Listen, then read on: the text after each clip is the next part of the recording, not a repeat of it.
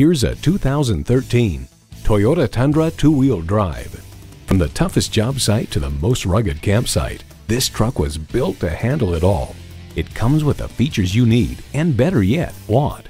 Auxiliary audio input, four 12-volt power outlets, dual zone climate control, power windows, manual tilting steering column, V8 engine, gas pressurized shocks, and power heated mirrors.